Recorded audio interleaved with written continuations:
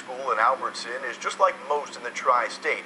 They see athletics as a way to develop several skills. The goal of the Viscardi School is to empower students to be active and self-sufficient. The only difference is that this New York school is dedicated to students with physical disabilities. As MSG Varsity Steve Yelps explains, the sport of basketball is just as important at this school as any other. In so many ways, the annual basketball tournament at the Henry Viscardi School is like any other. Fans are cheering, the ref is calling the games tight, the players are intensely focused. The one difference, they're all in wheelchairs. Viscardi School is a school for students whose primary disability is a physical challenge. But on this day, those disabilities go out the window, and these kids get to hoop it up. Today is a, a culmination of a, a, year's work, a half a year's work Um, of getting these kids ready and prepared to play competitive basketball. These kids work really hard to do this, and I mean, the medical complications that they have are very serious, and yet they are committed to playing basketball better. These kids just are so involved and so competitive, and yet they understand everything about sportsmanship it's just all about participating and playing the game and having people see all the things that they're capable of doing. Over the years, the Viscardi School has adapted the game of wheelchair basketball in order to make sure that all of their students could show off those capabilities. We have a series of three hoops, a two-foot hoop, a four-foot hoop, and an eight-foot hoop.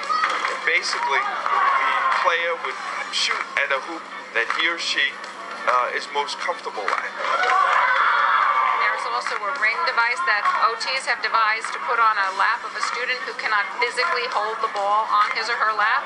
And so that ring keeps the ball in place. Now don't let the wheelchairs fool you. The tournament here at Viscardi High School, it gets pretty competitive. And these kids, well, these kids can ball. They're regular kids, so they love sports. They know the game. They watch the NBA and the college games all the time. So they have a good base of knowledge of basketball. Don't un underestimate us.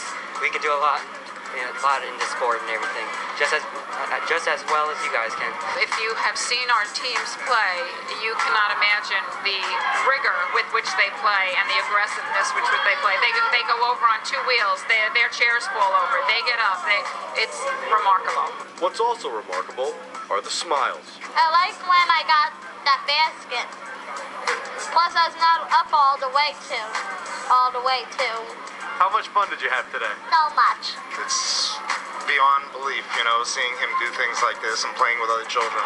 It's great. It's a great reward. It was amazing when he scored that basket. You know, the smile on his face. It's like it's so pure that you know, it's his happiness. It's, it's amazing. It just gives our kids a sense of normalcy.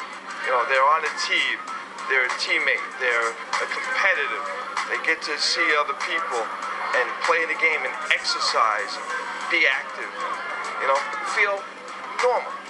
Children are children worldwide. Teenagers are teenagers worldwide. Never underestimate what their capabilities are. Well, Steve, thank you very much. A, a fantastic holiday story and one that shows that sports plays a huge role in every aspect of education. Absolutely. Well, the giving, it keeps on going here on the desk, guys.